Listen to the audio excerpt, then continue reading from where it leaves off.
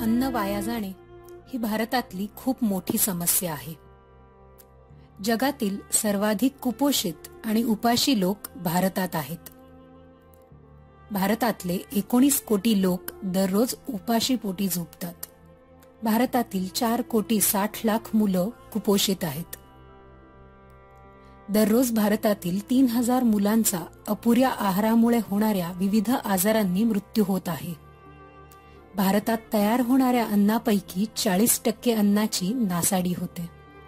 दरवर्षी भारतात सहा कोटी सत्तर लाख टन अन्न वाया जातं. वर्षभरात वाया जाणाऱ्या अन्नाची किंमत ही ब्याण्णव हजार कोटी रुपये इतकी आहे.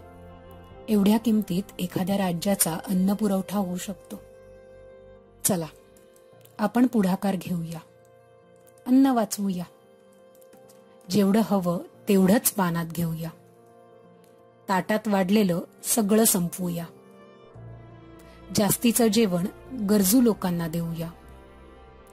अन्नावर खूप खर्च न करता त्यातून गरजूंना मदत करूया. अन्न वाया घालवणाऱ्या लोकांना समजवूया. अन्न वाचवण्याची सुरुवात आपल्या कुटुंबापासूनच करूया.